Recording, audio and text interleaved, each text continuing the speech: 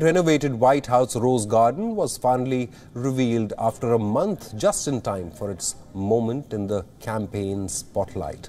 The three-week-long project included digging up trees, replacing floral beds with pastel roses and laying down paved walkways. According to the First Lady, the new garden has been designed to fulfill the dynamic needs of the modern presidency. This includes improving drainage, making it accessible for differently abled people and making the space more friendly to TV cameras.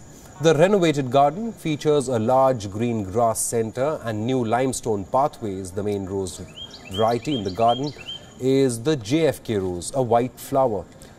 President John F. Kennedy was the first one who commissioned the garden in 1961.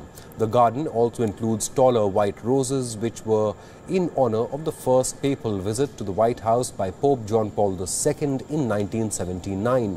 White House officials have said that the renovations were paid for by private donations.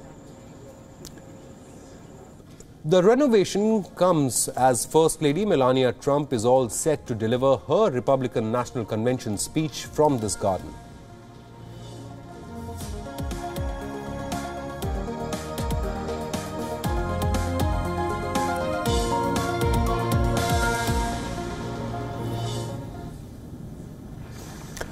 The location of the First Lady's speech is a major shift from normal political norms. Federal rules have prohibited the White House from being the setting for expressly political events. So the Trumps will be the first to use the executive mansion for a political convention and not just the First Lady.